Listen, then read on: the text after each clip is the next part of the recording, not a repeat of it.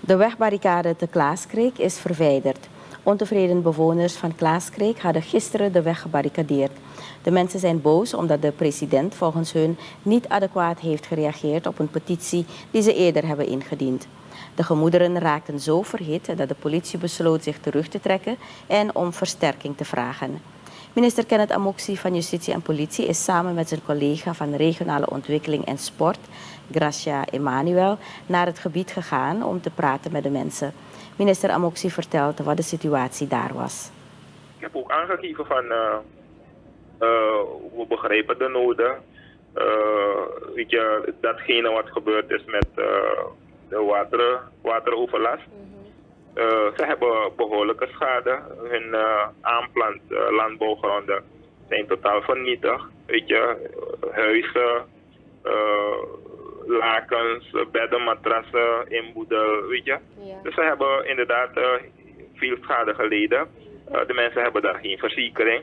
Dus dat moeten wij ook als overheid ook begrijpen. En daarop moet er dus ingespeeld worden. En aan de hand daarvan heb ik ze namens de president ook uh, de regering uitgenodigd voor een uh, gesprek. het gesprek moet maandag aanstaande plaatsvinden in de stad. Mm -hmm. En zo is het gekomen dat ze die barricades hebben verwijderd. De Boeinsman zegt dat de mensen in eerste instantie niet direct bereid waren de barricade te verwijderen. Ze moesten eerst met elkaar overleggen en daartoe hebben ze de gelegenheid gehad, volgens Amoxi. Volgen, vervolgens is de barricade dus opgeheven. Minister Amoxi geeft aan waarom zijn manschappen zich terug hadden getrokken. De politiecommandant heeft me, uh, eerder, had me eerder op de dag wel aangegeven dat ze zich uh, hadden moeten terugtrekken mm -hmm.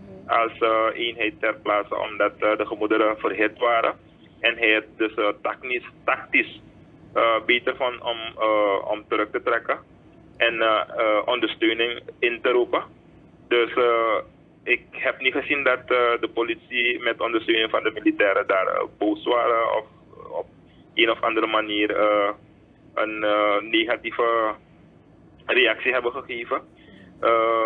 Kijk, in zulke, zulke gevallen, daar waar de, de, de gemoederen verhit zijn, zal de politie altijd uh, professioneel opstellen. Dat ik verwacht niet anders van ze en de militairen.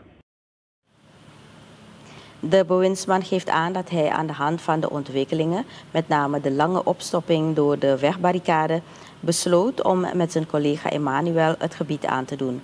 Het gesprek tussen de plaatselijke gemeenschap van Klaaskreek en de regering vindt maandag plaats.